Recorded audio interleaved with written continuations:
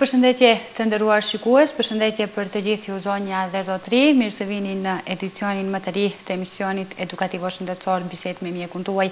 Uroj të keni pasur një javë të mbarë dhe me shumë shëndet dhe uroj e tillë të jetë edhe java në vijim. Në emisionin tonë të sontëm do të flasim për një temë që është aktuale, është interesante, është dobiprurëse besoj, sepse po të tilla do të jenë edhe këshillat dhe porositë e mjekut të ftuar sot në studio. Ju ka ndodhur shpesh me siguri që të keni ndryshime në organizmin tuaj si pasojë e ndryshimeve të motit apo ndryshimeve klimatike. Jeni ndjerë më të lodhur, jeni ndjerë më të plogësht, keni pasur ndoshta edhe dhimbje të nyjeve, dhimbje të eshtrave, por edhe virozat nuk përjashtohen. Dhe kjo konkretisht nuk i ndodh vetëm moshës më të vjetër, por edhe moshës së mesme, por edhe të rinjëve. Për këtë temë do të flasim sot, pra cilat janë ndryshimet që ndodhin në organizmin tonë, apo konkretisht thënë, ndryshimet klimatike në raport me shëndetin e përgjithshëm të njeriut. Pra shëndeti si mirëqenia e plotë fizike dhe psiqike dhe jo vetëm mungesa. e sëmundjes. Për të diskutuar për këtë çështje dhe për shumë çështje të këtij drejtimi, ne kemi privilegjin që sot të kemi të ftuar në emisionin tonë mjekun Agon Abdija. Përshëndetje doktor dhe mirë se na erdhët. Përshëndetje, është nder të jam i pranishëm. Do të flasim sot në lidhje me temën të cilën pak më herët e theksova, pra ndryshimet klimatike dhe shëndeti i njeriut. Cilat janë ndryshimet që mund të ndodhin në shëndetin e njeriut si pasojë e ndryshimeve klimatike? Po, në kuptimin e ndryshimeve klimatike, mund të bëhet fjalë për ndryshimet klimatike sezonale çka paraqiten, po ashtu edhe ndryshimet klimatike në kuptimin e ndrimit të motit të keq dhe të mirë, domethënë cikloneve dhe anticikloneve. Tash, Çdo çdo sëmundje, ndoshta edhe shumica e sëmundjeve, kanë një lloj variacioni gjatë stinëve të vitit, mirëpo një dukuri që mund ta shohim shumë qartë është tek përhapja e sëmundjeve infektive, kryesisht viraleve, gjatë stinëve të ftohta të vitit, domethënë kryesisht në vjeshtë dhe në dimër. Këtu ndikon përveç domethënë temperaturës së ajrit edhe mënyra e jetës se si njerëzit jetojnë gjatë këtyre stinëve. Në kuptimin se gjatë stinëve të ftohta të vitit, njerëzit kryesisht preferojnë të qëndrojnë në ambiente të mbyllura, gjatë lëvizjeve qëndrojnë në ambiente ku grumbullohen më tepër njerëz dhe nuk ka ajrosje të mjaftueshme, të gjitha këto dukuri ose fakte kontribuojnë dhe ndihmojnë në përhapjen e viruseve, të cilët, domethënë, përhapen nëpërmjet ajrit, kryesisht nëpërmjet aerozolleve të cilët formohen gjatë kollitjes dhe teshtitjes të njerëzve të cilët e mbartin virusin ose janë të infektuar. Pastaj edhe vetë ajri i ftohët shkakton rënie në imunitetin lokal të sistemit respirator, gjë që ndihmon në në zhvillimin e infeksioneve të sistemit respirator, kryesisht të sipërm, mirëpo edhe të poshtëm, pastaj gjatë stinëve të ftohta të motit, po ashtu kemi dallime edhe tek sëmundjet reumatike, kryesisht njerëzit ankohen se gjatë kur ajri është i ftohët dhe i lagësht kanë përkeqësim të dhimbjeve të eshtrave, të shtyllës kurrizore, domethënë të gjitha këto janë dukuri që paraqiten me ndryshimin e motit. Po ashtu tek njerëzit me sëmundje reumatike mund të vërehet një ndryshim i madh edhe gjatë paraqitjes së motit të keq dhe të mirë, Këtu si faktor kryesor parashihet se është ndryshimi i shtypjes apo atmosferike apo shtypjes barometrike, gjë që e manifeston efektin e tij në nyjet dhe në të gjitha sëmundjet reumatike që janë të përhapura sot. Domethënë tek infeksionet virale të cilat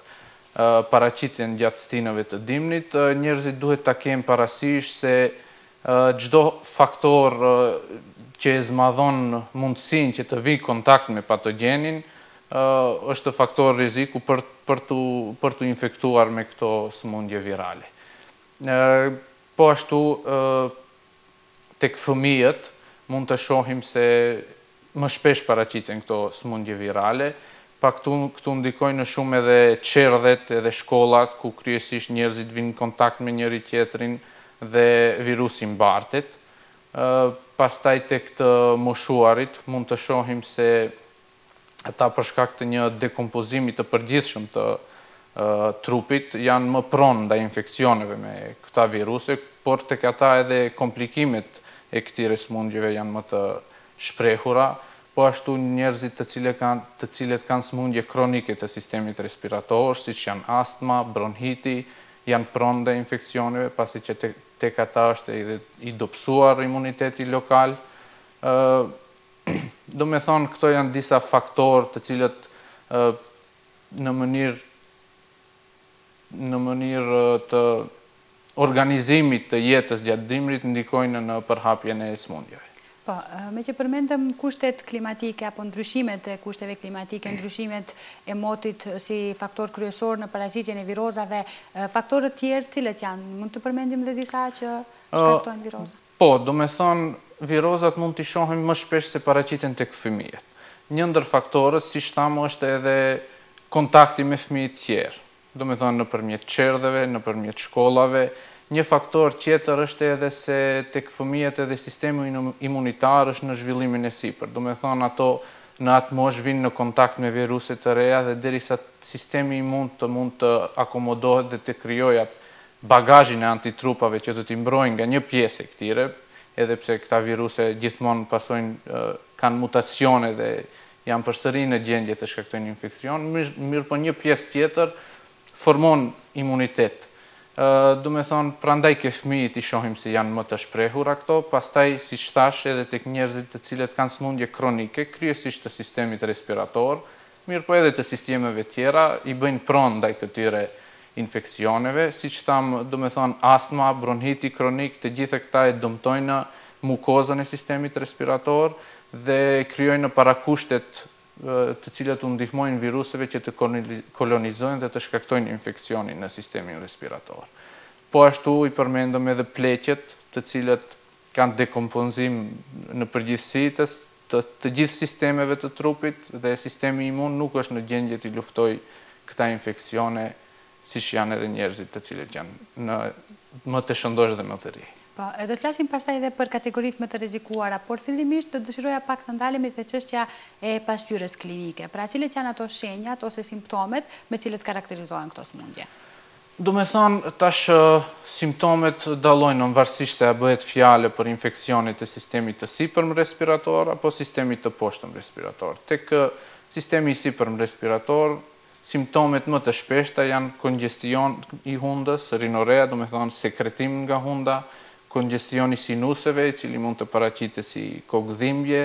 Pastaj mund të për shkak të edemit që shkaktohet gjatë vetë inflamacionit të ketë bllokim të tubës auditive e cila do të manifestohet me një lloj bllokimi të veshit dhe dëgjim më të dobët nga njëri vesh. Pastaj kemi kollitje, teshtitje, në përgjithësi një letargi ndjehet, humbje të vullnetit, të humorit, lodhje, Po ashtu, po ashtu, tash në qoftë se kemi infeksion të sistemit të poshtëm respirator, do të ndjehet një mungesë fryme të themi, sikur nuk mund të mbushen me frymë njerëzit, pastaj temperatura është më e shprehur tek infeksionet e sistemit të poshtëm respirator. Domethënë në përgjithësi janë këto simptomet, tash Nuk do të thotë se te të gjithë të infektuarit paraqiten të gjithë simptomet, mirëpo te shumica paraqiten këto simptome. Po, përveç simptomeve të sistemit respirator që theksuat ju, gjithashtu diskutuam edhe në lidhje me simptomet siç janë lodhja, humbja e menjëhershme e humorit, humbja e përqendrimit, plogështia, shkatërrim le të themi i gjumit në një farë forme, apo mungesë e gjumit dhe gjitha këto simptome të tjera që më tepër bëjnë pjesë në spektrin psikologjik, si mund të na i sqaroni? Domethënë, simptomet psikologjike që paraqiten gjatë infeksioneve virale vijnë kryesisht si pasojë e diskomfortit që shkaktohet në trup për shkak të simptomeve të lartpërmendura. Domethënë, kur njeriu e ndjen se ka ndonjë ndonjë problem në trup dhe diçka nuk funksionon si duhet, të gjitha ato shkaktojnë edhe edhe probleme dhe stres psikologjik që pastaj manifestohet edhe në humor, edhe në vullnet, edhe në përqendrimin gjatë punës edhe gjatë aktiviteteve të tjera, mirëpo po ashtu gjatë inflamacionit të të indeve të ndryshme lëshohen edhe substanca të cilat ndikojnë në sistemin nervor qendror dhe shkaktojnë manifestime të ndryshme psikologjike. Po. Përveç këtyre çështjeve do të dëshiroja pak të ndalem edhe tek çështja e diagnostikimit, sepse është shumë e rëndësishme besoj. Si arrini që ta diagnostikoni se për çfarë lloj viroze në këtë rast apo çfarë lloj sëmundje bëhet fjalë si pasojë e ndryshimit të motit edhe në cilat përmes cilave metoda ekzaminuese në fakt? Domethënë një ndër bazat Për diagnostifikimin e virozave janë edhe vetë studimet epidemiologjike, domethënë që na tregojnë nëse në stinë të caktuara, në kushte të caktuara, në vende të caktuara dhe në kohë të caktuara përhapen disa viruse. Tash për diagnostifikimin e virozave është i mjaftueshëm ekzaminimi klinik. Siç i përmendëm simptomet më parë, domethënë Do të përdorim inspeksionin, do të shikojmë fytin se a i kanë domethënë bajamet ose tonzilat edematoze, pastaj a është a ka ndezje fyti ose inflamacion fyti, ta shohim se a kanë kongjestion të hundës në bazë të të folurit, Për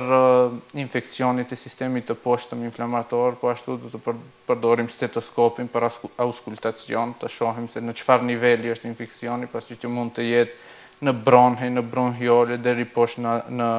alveole. Pastaj nëse nëse duam që të diagnostifikojmë më saktë se çfarë virusi është, mund të përdoren edhe teste serologjike, do me thënë që i analizojmë antitrupat, antigjenet, mirëpo në përgjithësi mjafton ekzaminimi klinik për të konstatuar se bëhet fjalë për virozë. Tash ekziston edhe një i ashtuquajtur Centor Score që është një shkallë për për vlerësim të gjasave që të mund të jetë infeksioni kryesisht i fytit apo anginë me bakteri ose streptokok. Domethënë ki ki kjo shkallë vlerësimi e merr parasysh moshën, pasi që infeksioni me streptokok është më shumë i përhapur në moshën në në mes tre dhe katërmbëdhjetë vjet, ndërsa në moshën nën dy vjeçare nuk paraqitet infeksioni me streptokok, edhe ky ky fakt, domethënë nëse e plotëson merr një pikë. Pastaj është edhe temperatura, në qoftë se ka temperaturë pacienti, atëherë merr edhe një pikë për temperaturën. Pastaj është kollitja, në qoftë se nuk ka kollitje atëherë merr edhe një pikë. Një faktor tjetër janë edhe bajamet, tash nëqoftëse janë edo, edematoze, ekzematoze, domethënë me sipërfaqe të mbuluara me pllaka, atëherë merr edhe një pikë. Edhe e fundit janë gjëndrat limfatike cervikale. Nëse janë të enjtura, domethënë hipertrofike, atëherë fitohet edhe një pikë. Edhe në qoftë se pacienti në bazë të kësaj shkalle merr pesë pikë, atëherë shansat që të jetë infeksion me streptokok janë afërsisht pesëdhjetë për qind, domethënë prapë se prapë nuk është njëqind për qind, mirëpo atëherë preferohet, preferohet, mund të jepet terapi empirike me antibiotikë. Ndërsa nëse ka dy, tre apo katër pikë, ka një test i ashtuquajtur strep test, i cili merret bris nga fyti dhe në një kohëzgjatësi prej dhjetë minutave e jep rezultatin nëse bëhet fjalë për infeksion me streptokok apo jo. Sigurisht që edhe testi nuk është qind për qind i sigurt, prandaj prapë vendos mjeku se a duhet të t'i përshkruhen antibiotikë pacientit apo jo. Po, në lidhje me çështjen e antibiotikëve do të flasim edhe më pastaj, por konkretisht unë pak më herët e theksova për çështjen e pacientëve. Cilat mosha ose cilët individë, cila kategori e shoqërisë janë më tepër të rrezikuar nga ndryshimet klimatike? Domethënë nga ndryshimet klimatike, siç e përmendëm, kryesisht janë popullatat të cilat vuajnë edhe nga sëmundje tjera të cilat i shkaktojnë dobësim të trupit, pastaj edhe klima edhe nuk janë në gjendje të përshtaten ndaj klimës si duhet edhe të gjitha këto faktorë ndikojnë që të jenë më pronë ndaj infeksioneve siç thamë popullata më e moshuar njerëzit të cilat janë vuajnë nga sëmundjet kronike pastaj fëmijët tek fëmijët edhe një faktor është për përhapjen pasi që më tepër tek ato përhapen domethënë fëmijët se higjiena është shumë e rëndësishme në përhapjen e sëmundjeve domethënë se viruset për të shkaktuar infeksion të sistemit respirator duhet të mbrijnë deri te sistemi respirator dhe fëmijët mund t'i shofim se kryesisht duart ndoshta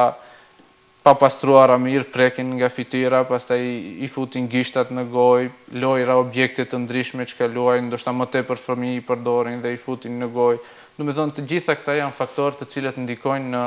përhapjen e këtyre sëmundjeve dhe një mënyrë e mirë që t'i ta parandalojmë përhapjen e këtyre sëmundjeve është që kur ta shohim se fëmija është i smur nga një ndonjë infeksion viral të të mos e lejojmë të shkojë në shkollë apo në çerdhe që ta minimizojmë mundësinë e përhapjes të këtij virusi brenda popullatës së fëmijëve. Po, ë lidhje me trajtimin, doktor në çfarë konsiston mjekimi në këto raste? Po, domethënë ndaj viruseve ende nuk ka ilaç apo bar efektiv, Kështu që edhe trajtimi i këtyre infeksioneve kryesisht bazohet në trajtimin e simptomeve. Domethënë, preferohet për këta pacientë që të pushojnë, domethënë të mos kenë ngarkesë qoftë fizike, qoftë psikike. Të qëndrojnë në ambiente të të pastra, domethënë si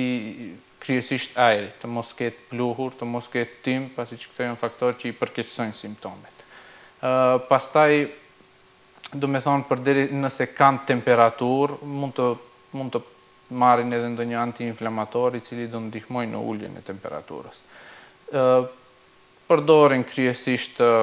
antiinflamatorë jo steroidë, siç është ibuprofeni, paracetamoli, Pastaj ka edhe, domethënë nëpër barnatore shiten preparate të gatshme që treten në ujë, treten në ujë siç është Tylol Hoti, Fervexi. Domethënë i gjithë trajtimi i këtyre sëmundjeve bazohet në trajtimin e simptomeve. Edhe ekziston një fjalë popullore ose ose shtatë ditë ose një javë. Domethënë do ta bëjë procesin e vet pasi që janë edhe infeksione të vetëlimituara, përderisa nuk paraqitet ndonjë komplikim ose superinfeksion bakterial i cili do ta zgjasë procesin. Domethënë, preferohet që të pritet shtatë ditë, tetë ditë, sigurisht nëqoftëse simptomet nuk janë shumë të shprehura,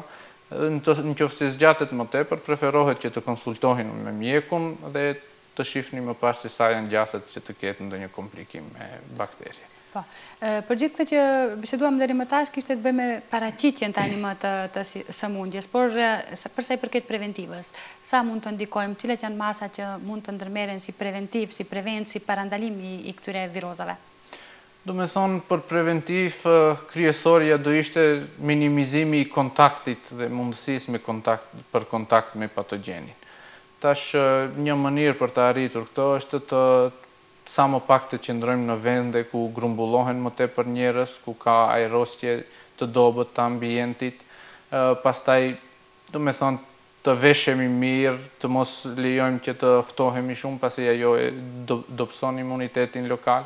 Një tjetër mënyrë për mbrojtje, kryesisht që përdoret tek popullata më e moshuar, më prone ndaj infeksioneve, është edhe vaksinimi,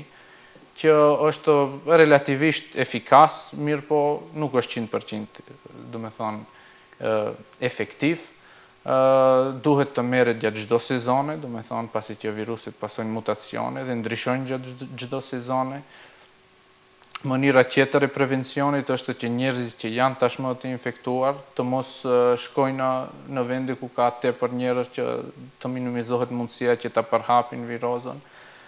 Mirëpo pa marrë parasysh se sa mundohemi, ato përsëri do të shkaktojnë pasojat e veta. Po, ajo që theksuam dhe më herët, do të jetë ai shtatëditësh i detyruar, kushtimisht thënë, siç thuhet nga ana e popullatës. Një ndër shenjat kryesore, doktor, që përmendët dhe ju pak më herët dhe një ndër elementet kryesore është temperatura. Do më interesonte fakti pak se si mund të kemi, si mund të bëjmë realisht uljen e kësaj temperature, cilat janë masat që duhet ndërmerren, sepse një këshillë e tillë besoj do të ishte e rëndësishme edhe për prindërit, sepse zakonisht kanë probleme të tilla Sidomos me fëmijët në moshën më të vogël me me temperaturën. Po, domethënë përderisa temperatura nuk është shumë e lartë, atëherë ajo ndihmon, prandaj edhe zhvillohet temperatura te njeriu, pasi që qelizat e bardha të gjakut janë më efikase në luftën e tyre kundër patogjenëve në temperaturë më të larta se tridhjetë e shtatë, domethënë tridhjetë e tetë, tridhjetë e nëntë, Dhe ajo është një mehanizëm se si trupi e stimulon luftën ndaj patogjenit, domethënë të mund patogjenin. Dhe këto temperatura nuk janë shumë të rrezikshme, mirëpo për t'u ulur mund të mund të përdoren domethënë metoda fizike, siç është të lahet me ujë pak më të ftohtë, të mos të mos qëndrojë në vende shumë të nxehta, pasi që ajo do ndikojë në rritjen edhe më të shpejtë të temperaturës,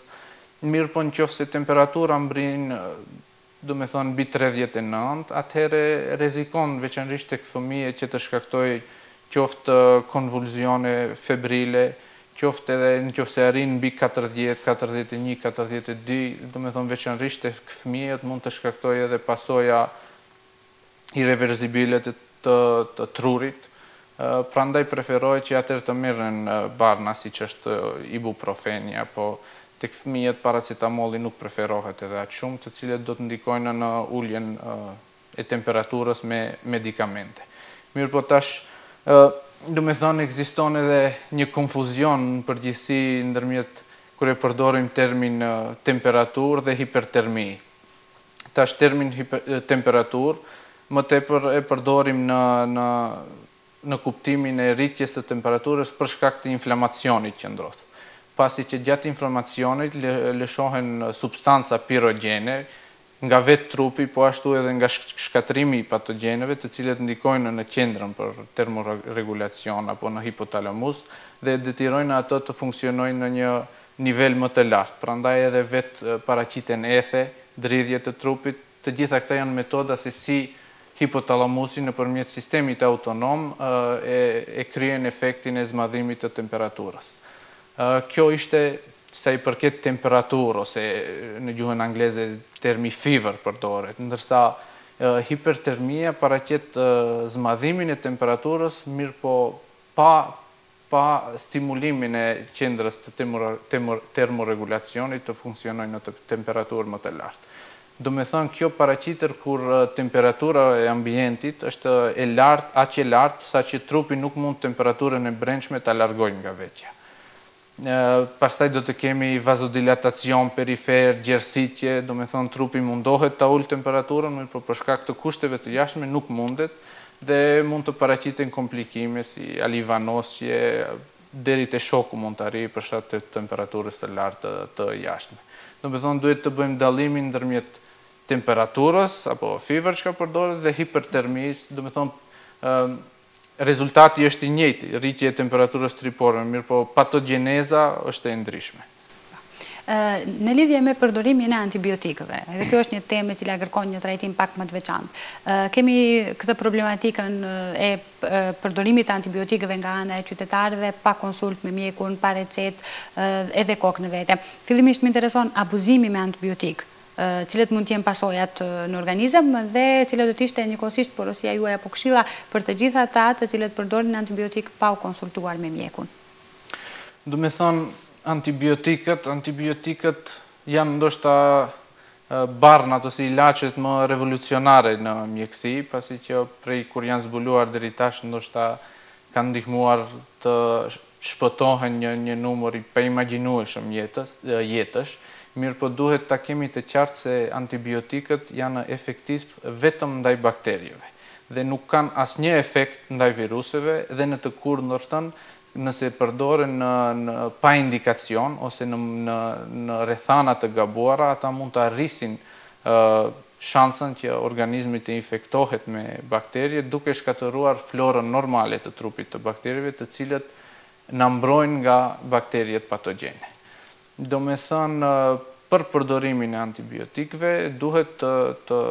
konsultoheni gjithmonë me mjekun, pasi që vetëm qoftë se bëhet fjalë për infeksion bakterial, atëherë duhet të përdoret antibiotiki, pasi antibiotiki është barë që në mënyrë specifike i targeton strukturat e bakterive, qoftë muri qelizor, qoftë mënyrën e replikimit, qoftë, pastaj kemi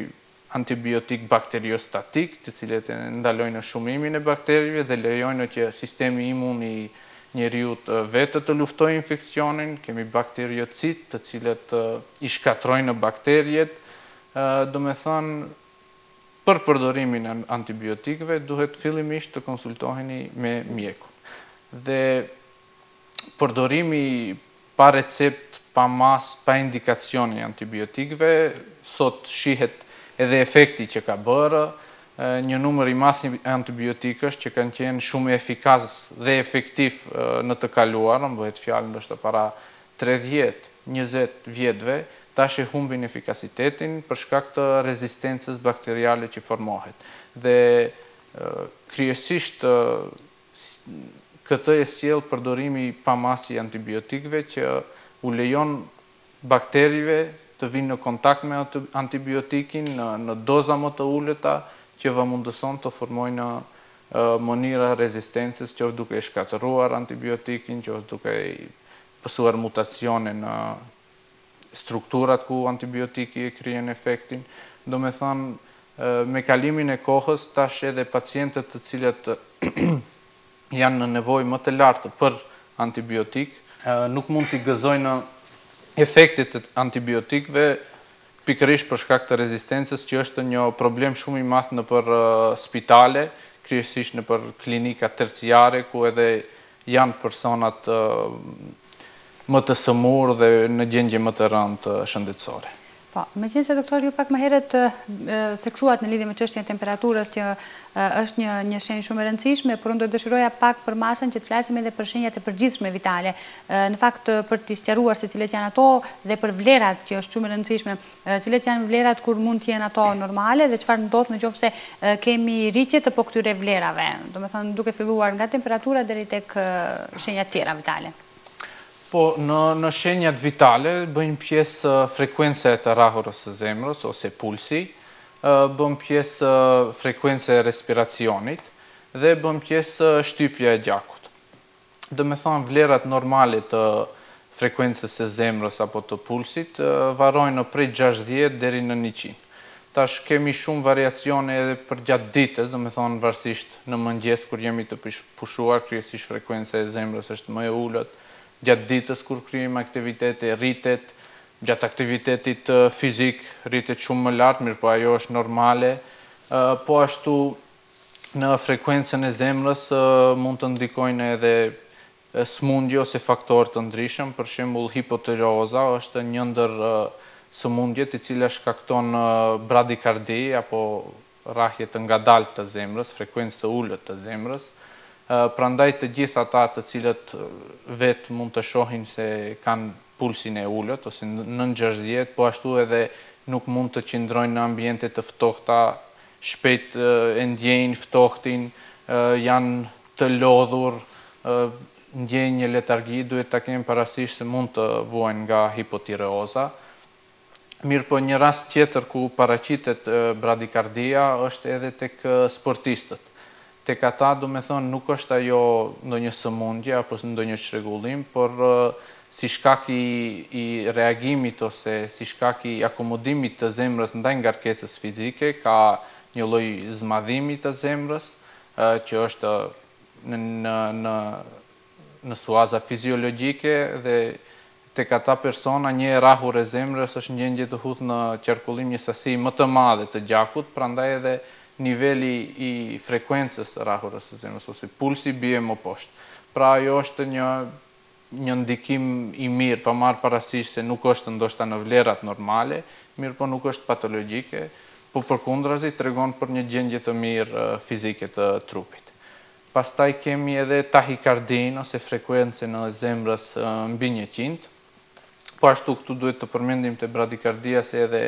ilaçe të ndryshme që mirren si siç janë betabllokatorët, antiaritmikët, të gjithë këta mund të shkaktojnë bradikardi, prandaj në qoftë se paraqiten tek personat që i marrin këto barna këto simptome duhet të konsultohen me mjekun për ndryshim të dozës të të të ilaçeve. Pastaj tahikardia siç thamë paraqet frekuencë mbi njëqind të zemrës. Disa nga nga rrethanat ku mund të paraqitet ose sëmundjet të cilat gjatë të cilave paraqitet tahikardia është hipertiroza, domethënë hormonet tiroide shërbejnë për të stimuluar metabolizmin. Tash në qoftë se kemi pak hormone tiroide kemi ngadalësim të metabolizmit gjë që shpie në në bradikardi dhe në domethënë në ndjesi të organizmit jo jo si duhet ose të ngadalshët në një aspekt ndërsa hipertiroza kur kemi prodhim të tepërt të hormoneve tiroide e stimulon shumë organizmin metabolizmin e organizmit shkakton tahikardi shkakton hipertermi tek ata mund të shohim se lëkura është gjithmonë e nxehtë djersiten në mënyrë që të ulin temperaturën, pastaj tahikardia din të paraqitet edhe gjatë problemeve akute siç janë embolia në mushkëri, gjatë infarkteve në zemër edhe gjatë disa sëmundjeve të cilat edhe gjatë vetë temperatura gjatë të gjitha qoftë infektive qoftë nga qoftë nga kushtet e jashtme rritja e temperaturës stimulon metabolizmin dhe rritet frekuenca e të rrahurit të zemrës pastaj kemi frekuencën e respiracionit që është normale ndërmjet dymbëdhjetë dhe njëzet Tash për respiracionin kryesisht janë substancat të cilat e ndryshojnë frekuencën e respiracionit, domethënë opioidet, qoftë pacientët të cilit i marrin në kushte në spitale për shkak të dhimbjes ose për shkak të ndërhyrjeve, qoftë domethënë të nvarurit nga substancat opioide mund të gjatë mbidozimit mund t'i kenë këta simptome siç është ulje e frekuencës të respiracionit, ndërsa gjendje të tjera siç është acidoza në gjak mund të shpien në rritje të frekuencës të respiracionit, i cili në atë mënyrë mundohet të kompenzojë për acidozën duke e larguar dioksidin e karbonit tash tek njerëzit që vuajnë nga diabeti, në qoftë se e kanë të parregulluar dhe nuk e dinë se vuajnë nga diabeti, nuk marrën mjekime, mund të për shkak se qelizat nuk mund ta shfrytëzojë sheqerin, kalon në shfrytëzimin e yndyrnave, Krijohen ketone, të cilat rrisin aciditetin e gjakut, mirëpo tek ata njerëz po ashtu mund të vërehet edhe një aromë acetoni nga goja dhe frymëmarrje shumë e shpejtë ose frymëmarrje e Kusmaullit në terme mjekësore përdoret. Domethënë ky është e për sa i përket shenjave vitale. Po, edhe shtypjen e gjakut. Domethënë shtypja e gjakut normale është njëqind e njëzet sistolikja dhe tetëdhjetë diastolikja. Mirëpo deri në njëqind e tridhjetë me tetëdhjetë e pesë konsiderohet si normale, tash edhe njëqind e katërdhjetë me tetëdhjetë e pesë nuk është edhe shumë e lartë. Domethënë shtypja te shumica e pacientëve që vuajnë nga hipertensioni kryesisht është esenciale ose idiopatike, domethënë nuk e dimë pasojën se pse është shkaktuar, domethënë këtu ndërlidhen faktorët e ambientit, faktorët gjenetik, domethënë shumë varet se në qoftë se dikush në familja, po paraardhësit e kanë e kanë pas probleme me hipertensionin, gjasat janë të mëdhaja që edhe ata persona të kenë probleme me hipertensionin, Pastaj edhe sëmundjet e veshkëve, gjatë të cilave zvogëlohet eliminimi i ujit nga trupi, mund të shpien në hipertension, po ashtu edhe sëmundjet e enëve të gjakut, kryesisht nëqoftëse kemi ndonjë obstruksion të enëve të gjakut të veshkëve, mund të shpie deri tek hipertensioni. Domethënë këto janë disa nga nga. shkaqet se pse paraqitet hipertensioni dhe duhet ta kemi parasysh se hipertensioni është diçka që ndoshta nuk shkakton shumë simptome apo probleme të menjëhershme, mirëpo në gjatë periudhës të tërë jetës mund të themi se e shkurton jetën për një për një sasi relativisht të konsiderueshme. Prandaj duhet gjithmonë të mjekohet. Duhet të mjekohet dhe duhet një kujdes besoj i veçantë në këtë drejtim. Doktor, unë njërasisht e theksova në fillim të emisionit që përveç simptomatologjisë tjetër që e përmendëm më herët, një problematikë tjetër është si pasojë e ndryshimeve të motit është edhe dhimbja e eshtrave, e sidomos sëmundjet reumatike, e kjo ndodh më tepër besoj tek moshat më të vjetra. Mund të na flisni pak në lidhje me këtë drejtim, pra si ndikojnë kushtet klimatike në në sëmundjet e eshtrave në përgjithësi dhe si mjekohen apo si trajtohen ato? Po, domethënë edhe tek sëmundjet reumatike mund të shohim variacione në simptomatologji gjatë ndryshimit të sezoneve. Kryesisht dhimb, kryesisht dhimbjet përkeqësohen gjatë stinëve të cilat karakterizohen me kohë të ftohtë dhe të lagësht, domethënë dimër, kryesisht dimër, pastaj edhe më e shprehur ndoshta është dallimi, dallimi ndërmjet motit të keq dhe të mirë. Jo, jo se moti i keq apo moti i mirë, mirëpo ndryshimi i moteve gjatë të cilit ndryshon shtypja atmosferike, domethënë ciklonet, anticiklonet, shkaktojnë reagim nga nyjet kryesisht ose të gjithë në përgjithësi sëmundjet reumatike, në atë mënyrë që përkeqësohen simptomet. Prandaj edhe pleqet kur u dhemb ndonjë pjesë e eshtrave ose e nyjeve, gjithmonë thonë se vin ndonjë kohë e keqe. Domethënë kjo kjo është një nga faktorët, tash nuk është ende në shkencë e precizuar metoda se si ndikon kjo, mirëpo parashihet se ka të bëjë me ndryshimin e shtypjes atmosferike. Tash për trajtim, domethënë ke këto sëmundje bëjnë pjesë artriti reumatik, osteoartriti, spondiliti, domethënë në përgjithësi këta janë sëmundje kronike, tash artriti reumatik është sëmundje autoimune, domethënë vetë sistemi imun i sulmon ato pjesë të trupit, gjatë osteoartritit kemi harxhim të ë indit kartilaginoz apo siç përdoret në popullatë koc i butë çka i mbulon nyjet, tek spondiliti kryesisht ankilozant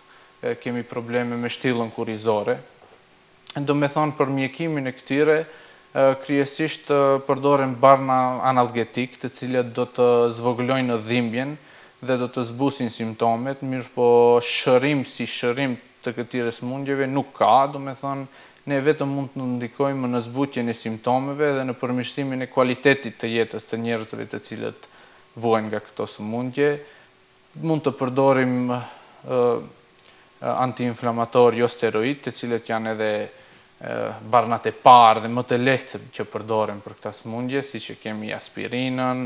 ibuprofenin, Pastaj kemi barna më të fortë, koks dy inhibitorët, mund të përdoren edhe disa lloje opoidesh për dhimbje shumë të shprehura, tramadoli përdoret. Pastaj kemi edhe një terapi që relativisht ndoshta është e re, është terapia me acid hialuronik, i cili mund të injektohet direkt në në nyjenë. ku kemi dhimbje, apo të merret, mirëpo besohet se më efektive është kur aplikohet direkt në nyje, me shpresën që deri në një nivel të rigjenerohet, domethënë indi kartilaginos. Po. Do dëshiroja pak të flasim edhe për një fenomen ose shkaktar i shumë sëmundjeve, mbase jo shkaktari kryesor, por gjithmonë është një ndër faktorët që ndikon në paraqitjen e sëmundjeve të ndryshme dhe ky është pikërisht stresi. Kemi pasur emisione speciale dhe në lidhje me këtë drejtim me psikologë të ndryshëm, por do më interesonte pak nga këndvështrimi i juaj. Domethënë, si ndikon stresi mbi shëndetin e njeriut? Dimë që nuk mundemi që ta largojmë plotësisht, nuk mundemi që të jemi imunë, por të paktën si ta menaxhojmë. Na flisni pak për raportin që ka stresi me shëndetin e përgjithshëm? Po domethënë stresi është një faktor i cili ndikon në në zhvillimin e thuajse të gjitha sëmundjeve, tash qofshin ato sëmundje kardiovaskulare, qofshin infektive, qofshin sëmundjet kronike, ndikon në përkeqësimin e tyre, saktë domethënë mehanizmi se si ndikon stresi në përkeqësimin e këtyre sëmundjeve, ndoshta ende nuk është shumë i qartë, mirëpo një ndër mënyrat është duke dobësuar aftësinë mbrojtëse apo rigjeneruese të organizmit. Tash dihet se kemi edhe shumë sindrome psihosomatike, domethënë varësisht prej, prej, prej asaj se si ndjehet organizmi ashtu edhe funksionon biologjikisht. Prandaj, prandaj çdo, në çdo mënyrë duhet të mundohemi që të minimizojmë stresin, domethënë ajo shumë varet edhe nga vetë botëkuptimi i njeriut se si do të shikojë rrethinën, si do të shikojë gjërat, mirëpo varet shumë edhe nga kushtet e jashtme të cilat janë jashtë kontrollit tonë, varet shumë edhe nga vetë predispozik, predispozita gjenetike e personave, dikush i merr siç thonë në popullat gjërat më ngat zemrës dokush nuk brengoset shumë domethënë stresi është si një faktor precipitues për shumë sëmundje mirëpo nuk mund të thuhet ndoshta për ndonjë sëmundje saktë se vjen vetëm prej stresit. Po domethënë si faktor shoqërues mbase si një ndër shkaktarëve shoqërues të shumë shkaktarëve të tjerë. Një ambient apo një mjedis më i pastër, më i gjelbruar, më i qetë, i bën mirë shëndetit. Më intereson pak ky fakt lidhja që ka, që ndryshimet në mjedisin tonë në lidhje me shëndetin dhe për fund cila do të ishte porosia juaj për të pasur një jetë më të mirë, më cilësore, më të shëndetshme. Domethënë ambienti, gjithçka domethënë biologjikisht e njeriut ndërlidhet me ambientin. Këtu fillojmë nga higjiena, domethënë uj i pishëm, sa është i pastër, pasi që kemi shumë sëmundje infektive feko-orale që përçohen veçanërisht në vendet të cilat nuk kanë uj të pastër të pishëm. Pastaj kualiteti i ajrit, siç thamë çdo çdo ndotës në ajër, qoftë qoftë tymi çka përhapen që ka qenë shumë aktuale në në Tetovë, ndikon në dobësimin e imunitetit lokal të sistemit respirator dhe kjo na bën pronë ndaj infeksioneve, po ashtu e rrit nivelin e iritimit të sistemit respirator, gjë që ndikon në përhapjen e sëmundjeve alergjike, siç është astma, siç është bronhiti kronik, pastaj po ashtu faktorët e jashtëm, kryesisht klima, ndikojnë edhe në aktivitetin fizik të njerëzve, edhe edhe kushtet e jashtme siç është të kemi stadiume apo kushte për të zhvilluar aktivitete fizike, të gjitha këta ndikojnë në mirëqenien e trupit, në zhvillimin e trupit, veçanërisht tek fëmijët, fëmijët kanë nevojë për për të për të qenë në ambient të hapur, në gjelbërim, të mund të vrapojnë, ta zhvillojnë organizmin siç duhet në atë moshë. Ndërsa tash shohim se është e për shumë aktuale fakti se fëmijët kryesisht qëndrojnë në ambiente të mbyllura, qoftë me kompjuter, qoftë me televizor, pra këto këto janë gjëra të cilat nuk u lejojnë fëmijëve që në në kuptimin biologjik të zhvillohen, domethënë qoftë sistemi lokomotor, qoftë sistemi respirator, pasi që aktiviteti fizik ndihmon edhe në në zmadhimin të kapacitetit të sistemit respirator, kardiovaskular, po ashtu ndikon edhe në bazë psikologjike që të ndjehen më mirë, të të të jenë më të koncentruar. Po. Ka shumë fakte që ndërlidhen me ambientin. Po. Dhe porosia juaj për në fund? Për një jetesë, le të themi, më të shëndetshme? Porosia ime, domethonë,